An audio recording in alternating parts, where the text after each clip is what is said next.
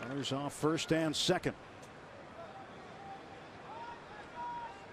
And Hague rips it up the middle of base hit. McCutchen's going to be waved home. Around second, heading to third is McGehee. McCutchen scores. Ball goes to the backstop. Down to second base goes Hague. It's 1 0 Pirates. I was just thinking to myself, boy, I like Matt Hague in this position against the lefty, DHing the hit collector. And always has a good a approach at the plate. He's been struggling of late, just one for his last 17. And uh, we talked about how Chen likes to throw a lot of fastballs. Really didn't get a fastball here. Got a breaking ball, but it hung up middle of the plate. You try to pull it, good chance you hit it on the ground to the left side, hit it up the middle, put the Bucs on the board first.